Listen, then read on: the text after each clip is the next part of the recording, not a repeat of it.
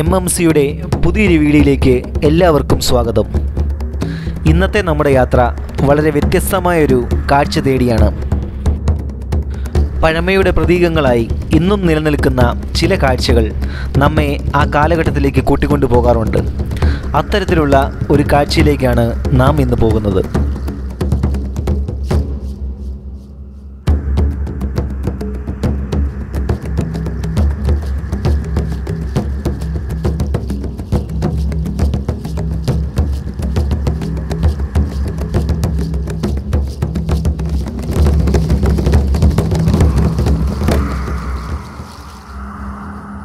ഇതാണ് ഞാൻ മുമ്പ് പറഞ്ഞ ആ കാഴ്ച. മേട. പണ്ടുകാലത്ത് നെല്ലും ധാന്യങ്ങളും ഒക്കെ സൂക്ഷിക്കാൻ പ്രത്യേക രീതിയിൽ നിർമ്മിച്ചെടുത്ത ധാന്യപ്പുര. പാലാ പൊൻകുന്നം റൂട്ടിലെ ഒരു പ്രധാന ജംഗ്ഷനാണ് പൈഗ. പൈകയ്ക്കടുത്ത് വിളക്കുമാടം എന്നൊരു കൊച്ചു ഗ്രാമത്തിലാണ് ഇത് സ്ഥിതി ചെയ്യുന്നത്.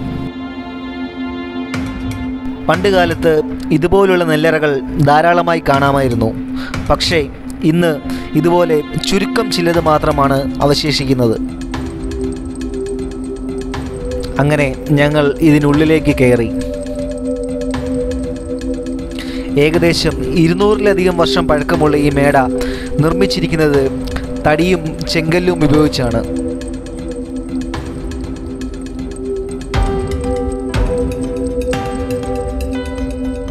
ആകെ ഇരുപത്തെട്ടിലധികം തൂണുകൾ ഈ മേടയ്ക്ക് ചുറ്റുമായി ഉണ്ട് ഇവയെല്ലാം ഒറ്റക്കല്ലിൽ തീർത്തതാണ് എന്നുള്ളതാണ് ഏറ്റവും അത്ഭുതകരമായ കാര്യം.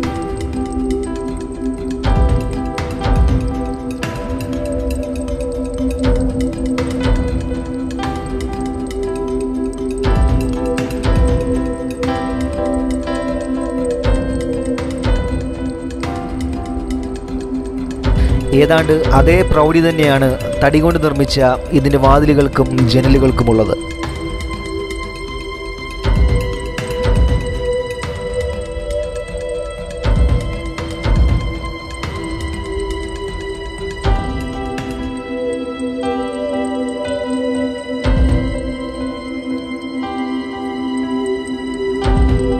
പണ്ടുകാലത്ത് നിധികൾ സൂക്ഷിച്ചിരുന്ന അറകൾക്ക് ഉപയോഗിച്ചിരുന്ന അതേ ലോക്കിംഗ് സിസ്റ്റം തന്നെയാണ് ഇവിടെയും ഉപയോഗിച്ചിരിക്കുന്നത്.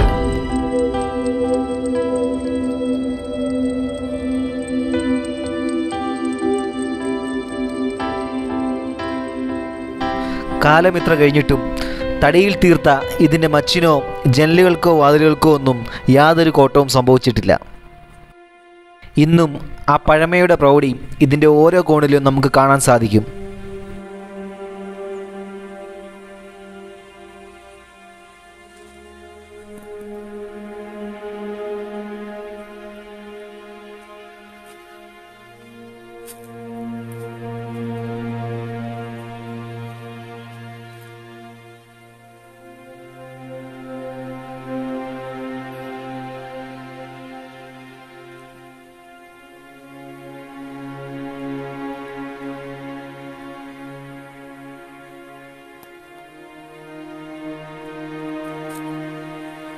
ഇതിന്റെ ചരിത്രം നോക്കിയാൽ കള്ളിവേലിൽ എന്ന കുടുംബക്കാരുടെ സ്വകാര്യ സ്വത്താണ് ഈ നെല്ലറ.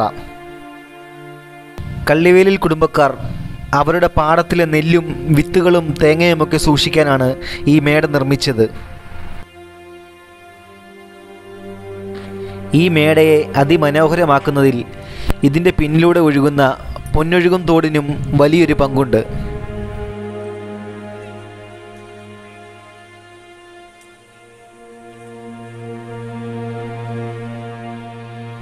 ചുറ്റും പച്ചപ്പ് നിറഞ്ഞ ഇവിടേക്ക് ഇന്ന് ധാരാളം സഞ്ചാരികൾ എത്തുന്നുണ്ട്.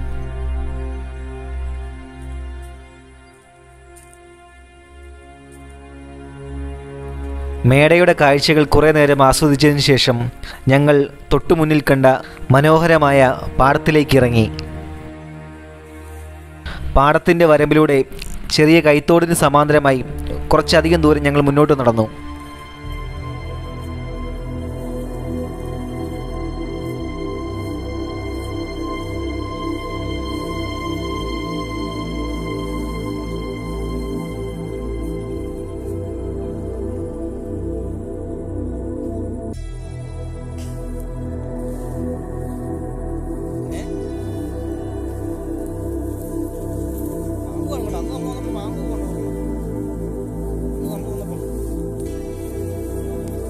കുറച്ചു ദൂരം മുന്നോട്ട് നീങ്ങിയപ്പോൾ പാടത്തിലേക്ക് ഒഴുകിയെത്തുന്ന ജലത്തിന്റെ അളവ് നിയന്ത്രിക്കാൻ നിർമ്മിച്ചിരിക്കുന്ന ചെറിയൊരു തടയണ ഞങ്ങളുടെ കണ്ണിൽപ്പെട്ടു. കാര്യം ഒഴുകി വരുന്ന ജലത്തിന്റെ അളവ് നിയന്ത്രിക്കാൻ വേണ്ടി ചെയ്തതായിരുന്നെങ്കിലും ഇവിടുന്ന് മീൻ പിടിക്കാനും ഇത് ഉപയോഗപ്പെടുന്നുണ്ടെന്ന് ഇത് കണ്ടപ്പോൾ തന്നെ ഞങ്ങൾക്ക് മനസ്സിലായി.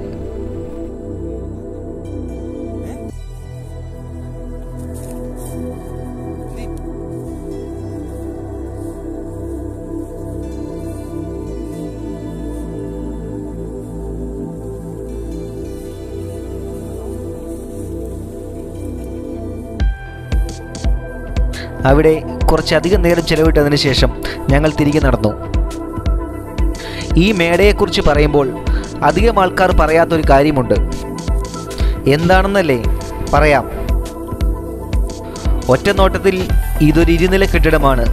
പക്ഷേ ശരിക്കും ഇത് നാല് നിലകളുള്ള ഒരു നെല്ലറയാണ്. ഭൂനിരപ്പിന് അടിയിലായി ഒരു നില പിന്നെ നമ്മൾ നേരിൽ കാണുന്ന ഒരു നില മച്ചിന് മുകളിൽ ഇരുനിലകൾ അങ്ങനെ മൊത്തത്തിൽ നാല് നിലകളുണ്ട്. ഇന്ന് ധാരാളം സഞ്ചാരികൾ എത്തുന്ന ഇവിടം പന്ത്രണ്ടോളം സിനിമകൾക്ക് വേദിയായിട്ടുണ്ട്. ഇന്ന് ഈ വിളക്കുമാട ഗ്രാമം അറിയപ്പെടുന്നത് തന്നെ ഈ നെല്ലറയുടെ പേരിലാണ്. എന്നെപ്പോലുള്ള സഞ്ചാരികൾക്ക് കാഴ്ചയുടെ വിരുന്നൊരുക്കാൻ പഴമയുടെ പ്രൗഢിയിൽ മേട തലയുയർത്തി നിൽക്കുന്നു.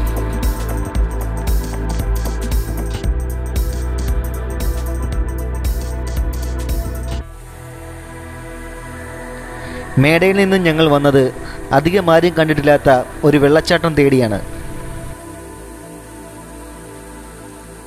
Elampally mini waterfalls. പേരിൽ മാത്രമേ ഉള്ളൂ മിനി. ഇത് അത്യാവശ്യം വലിയൊരു വെള്ളച്ചാട്ടം തന്നെയാണ്. വലിയൊരു പാറയ്ക്ക് മുകളിലൂടെ കുത്തി ഒഴുകി വരുന്ന ജലത്തെ ഒരു പാലത്തിന്റെ മുകളിൽ നിന്ന് ടോപ്പ് ആംഗിളിൽ കാണുവാൻ സാധിക്കുന്ന മനോഹരമായ കാഴ്ച. മനോഹരമായ ഒരു പൈനാപ്പിൾ തോട്ടത്തിന്റെ ഒരു വശത്താണ് ഈ വെള്ളച്ചാട്ടം. പാലത്തിന് സമീപമായി ഈ പൈനാപ്പിൾ തോട്ടത്തിലൂടെ ഈ വെള്ളച്ചാട്ടത്തിന്റെ താഴെവശത്തേക്ക് എത്താനുള്ള ഒരു ചെറിയൊരു വഴിയുണ്ട്. ആ വഴിയിലൂടെ ഞങ്ങളും താഴേക്ക്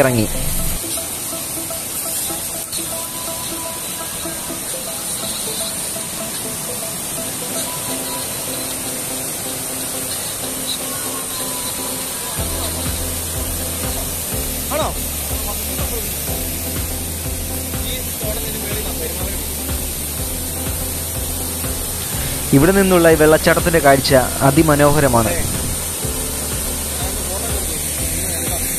ദാ ആ കാണുന്നതാണ് ഞാൻ കുറച്ചു മുമ്പേ പറഞ്ഞ പാലം. അതിലൂടെ നമുക്ക് എളുപ്പ വെള്ളച്ചാട്ടത്തിലേക്ക് എത്താം. കാണുമ്പോൾ വളരെ അപകടകരമായ പാറക്കെട്ടുകളായി തോന്നുമെങ്കിലും ഇത് അത്ര അപകടം നിറഞ്ഞതല്ല.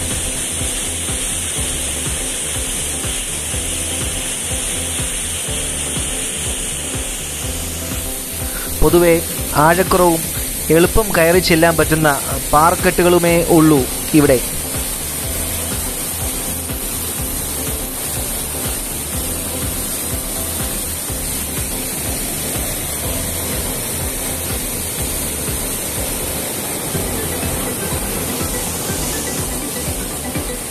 ഇവിടേക്ക് എത്തിച്ചേരാൻ കെ കെ റോഡിൽ ഇളമ്പള്ളി കവലയിൽ നിന്നും ഇടത്തേക്ക് നെയ്യാട്ടുശ്ശേരി റൂട്ടിൽ ഏകദേശം രണ്ട് കിലോമീറ്റർ സഞ്ചരിച്ചാൽ റോഡിന് ഇടതുവശം ചേർന്നാണ് ഈ വെള്ളച്ചാട്ടം സ്ഥിതി ചെയ്യുന്നത്.